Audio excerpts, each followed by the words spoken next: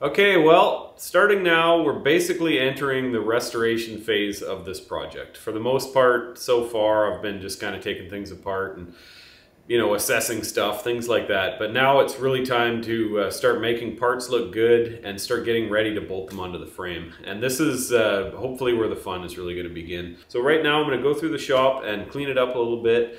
And that way, this whole open section right now, I can use to just lay out all the pieces that I need to paint and uh, start sort of picking out a plan of how I'm going to hang everything and how I'm going to clean it and get ready. So I'm going to jump into that now.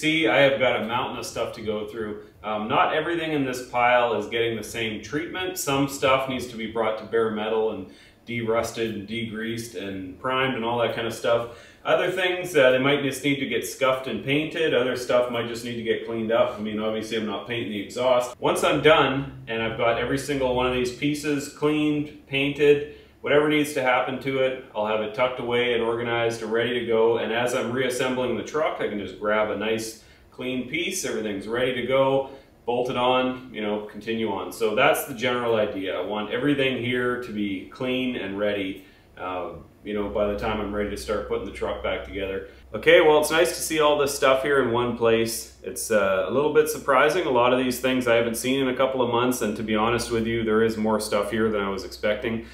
But, uh, you know, I'm glad to uh, see it and get ready to get through it. First up, I'm going to dump some degreaser in here and just start cleaning some parts. The stuff actually looks pretty gross already. I'll probably need to get some more, but at least it's a start. First thing I'm going to get into is this uh, unit off the rear brakes. I think it's called a backing plate. Um, it's disgusting, but it kind of looks like the paint might still be reasonably good. Um, so we'll see. There's a little bit of rust right here, obviously. Um, this kind of stuff with a sort of baked on epoxy finish, it would be nice to uh, just sort of reuse it. Um, but we'll see what it looks like when it gets all cleaned up. I should probably pull this brake cable thing off first.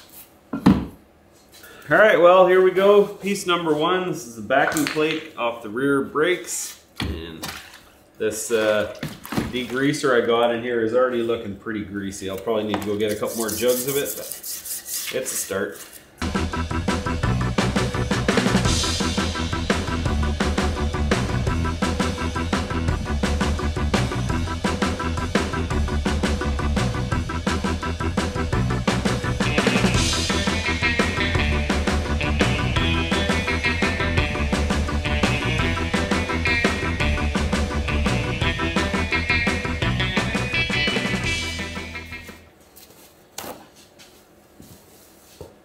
Well, first cleanup on this backing plate. I was uh, really hoping that these could just be cleaned and, uh, you know, continue to let the original paint do its thing, but uh, there's a lot of, I'm not sure how easily you can see it, but definitely a bit of surface rust. So this will need to be brought down to bare metal and uh, the whole thing just painted again. Whoops. Being that they are brake parts, I'm going to have to do a little research. I'm not sure if, uh, I, I, would imagine, you know, certain um, types of paint are maybe better suited to brake components. I'm not sure if there would be a risk of things melting or something like that under really high heat. So uh, I'm gonna have to do a little research, but uh, overall, I mean, all the metal's there. It feels pretty solid, but this is gonna be uh, a lot more work now because it's gotta get brought down to bare metal. And, uh, you know, there's a lot of nooks and crannies. Getting something like this down to bare metal is never that easy, but oh well, we'll get through her.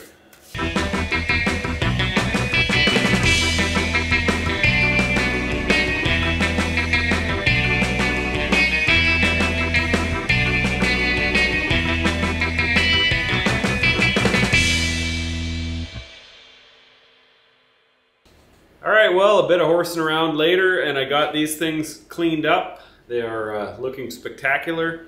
Um, almost ready to paint. There's this groove, this groove in here. Uh, I ran out of wire wheels, and I need to get in there and give that a good once over. But um, once that's done, I can sort of get it ready to paint.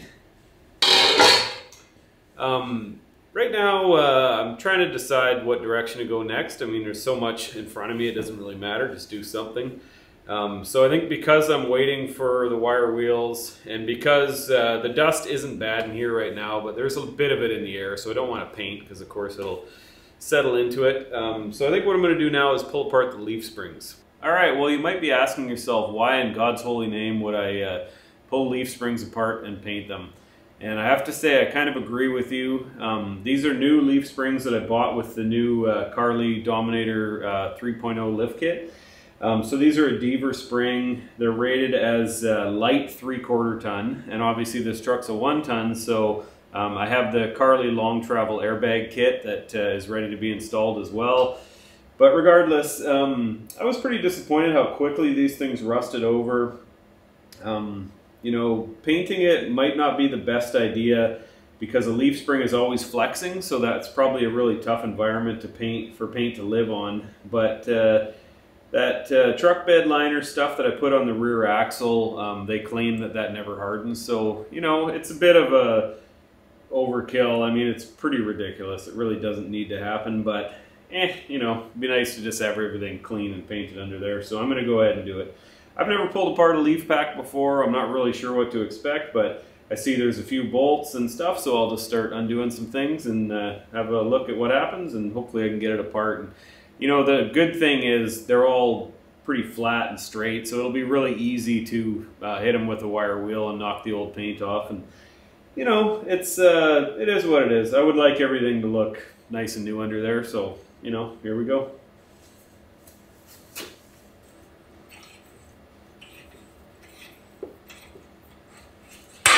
Okay, that's that first one pulled apart.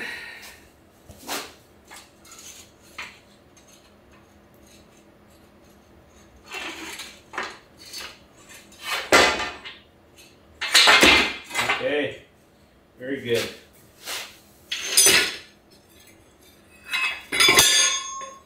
Actually a pretty straightforward process. Wow, pretty amazing how gross those things look. You would expect this is a 20 year old leaf pack and it's not even two years old. Probably just the uh, nature of the beast with um, things like that rubbing next to each other and flexing all the time. It's probably very hard to keep paint on there. But anyways, uh, I'll be happy to uh, clean them up and paint it and put it back together. Um, just going to jump over to the next one now. Yeah, it's really hard to show on video. I'm not sure if you can tell or not, but it is super dusty in here right now. Been wearing a mask all day and uh, definitely glad for that. All right. Well, my face probably looks ridiculous um, with all the uh, crap all over it and wearing a mask all day. I'm not sure if you can tell how dusty it is in here, but uh, it is very dusty. Um, just got... Uh, I just got these uh, leaf springs wire wheeled. That was pretty much a full day of screwing around. Um, you know, all dismantled. This one is in order. I took pictures of them before anyways, but that is the order that it came apart. So uh, just follow the same thing on here. And uh, starting to win the war. All this stuff is uh, through the first phase of um, cleaning it up. You know, obviously, it'll be a lot of uh, wax and grease remover and scuffing it and all that, but all this stuff here is uh, basically ready to um, move forward on the painting process. I still have to do the drive shaft over there. Uh, I also got the uh, backing plates for the brakes and then over here this is the last bit of stuff front drive shaft sway bar steering stuff but that's the last bit that needs to be stripped down to metal and uh, gotten ready to paint so hopefully I'll get through that tomorrow